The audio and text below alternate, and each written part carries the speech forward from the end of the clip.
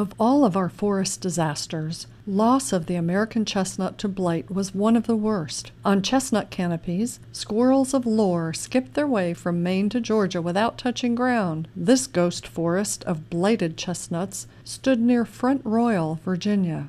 The chestnut is important uh, because it provides a valuable food source for animals in the forest, and it once provided income and food for the people who lived in the region. In Catawba, vital work of planting trees is taking place. Volunteers include school children.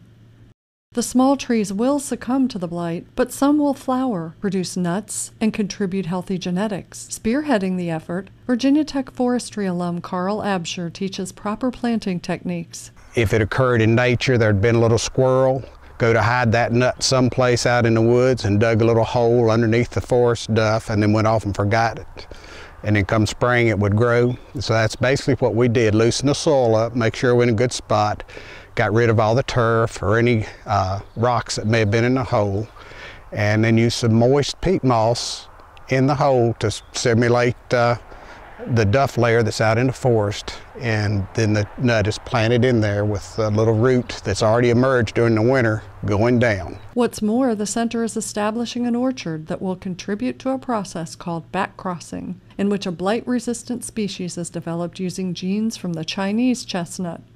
All the work is worth the effort to resurrect a prized tree. I think about any uh, environmental problem you come up with, trees are the answer. Trees will help. For Outreach and International Affairs, this is Andrea Brunet reporting.